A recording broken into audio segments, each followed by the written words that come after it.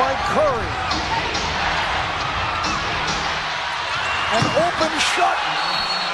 Shamet able to knock it down. First lead for the Clippers since it was 12-11.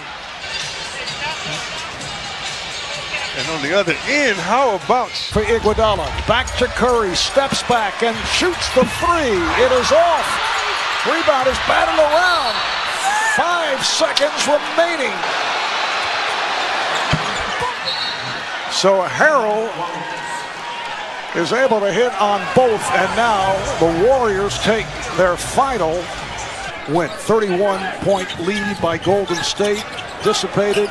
Here's Thompson has to fire up a three, would not matter, and that will do it. A remarkable comeback by the LA Clippers on the Warriors court here at Oracle, down by as many as 31.